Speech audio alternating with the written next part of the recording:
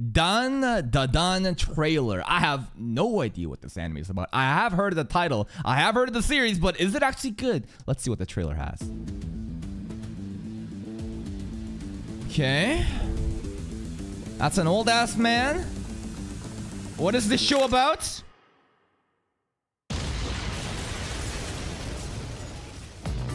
Huh? Oh. wait, wait, wait, wait. Okay. I, I like her design, but what the fuck was this? Okay, nerdy guy, and then... Hey, yo. Hey, yo. Did he have a knife there? Ooh.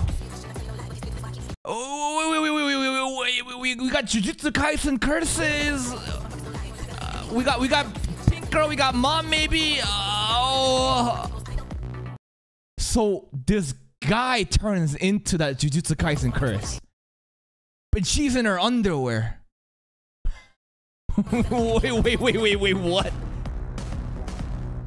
Sleep. Is that like the dream world? Like what? That's it? Yeah.